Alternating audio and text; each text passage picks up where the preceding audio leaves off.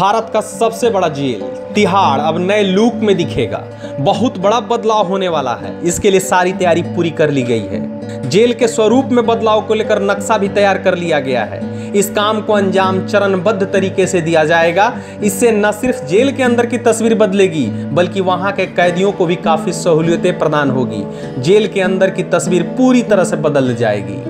दरअसल क्षमता से करीब डेढ़ गुना अधिक कैदियों के कारण देश की सबसे बड़ी जेल परिसर को कई समस्याओं का सामना करना पड़ रहा है। इस समस्या का समाधान तलाशते हुए जेल प्रशासन अब जेल की सभी बैरकों को दो मंजिला बनाने की योजना पर विचार कर रहा है। योजना क्रियान्वित होने पर जेल में भीड़ के कारण कैदियों के बीच होने वाली समस्याओं को दूर किया जा सकेगा। बैरकों का निर्माण चरणबद्ध तरीके से होगा। जेल प्रशासन के मुताबिक पहले चरण में जेल संख्या एक, दो और तीन में निर्माण होगा। जेल संख्या एक, दो और तीन में निर्माण कार्य शुरू करने की वजह से यह है कि यह तीनों जेल सबसे पुरानी है। और यह एक दूसरे से जुड़ी हुई है। इन तीनों का निर्माण पूरा हो जाने के बाद अन्य जेलों में निर्माण कार्य शुरू किया जाएगा।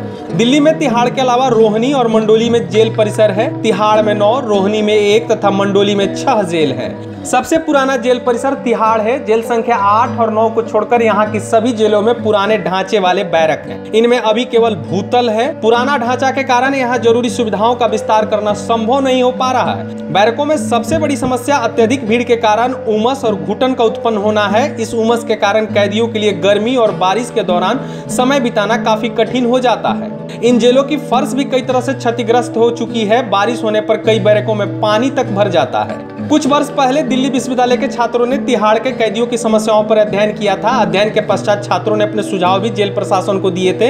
अध्ययन के अनुसार जेल में क्षमता से अधिक कैदियों के कारण उन्हें तनाव चिड़चिड़ापन छोटी छोटी बातों पर गुस्सा हो जाना मारपीट जैसी समस्याएँ सामने आती है। कई कैदियों को सोने के लिए कम जगह मिलती है जगह के लिए कैदी आपस में मारपीट तक करने लगते हैं। इसके अलावा यहाँ शारीरिक दूरी का पालन न होने के कारण कैदियों में त्वचा रोग की भी तेज़ी से फैलाव होने लगता है। दिल्ली की जेलों में 10,000 कैदियों को रखने की क्षमता लेकिन अभी करीब 16,000 कैदी बंद है। यह संख्या घटती बढ़ती रहती है लेकिन औसतन यहाँ न्यूनतम क्षमता से डेढ़ गुना अधिक कैदी रहते हैं। जेल प्रशासन के मुताबिक जेल विस्तार की योजना दो स्तरों पर है। पहले स्तर में तिहाड़ की बैरकों को दो मंजिला बनाया जाना है वहीं दूसरे स्तर पर दिल्ली में एक नया जेल परिसर का निर्माण करना है।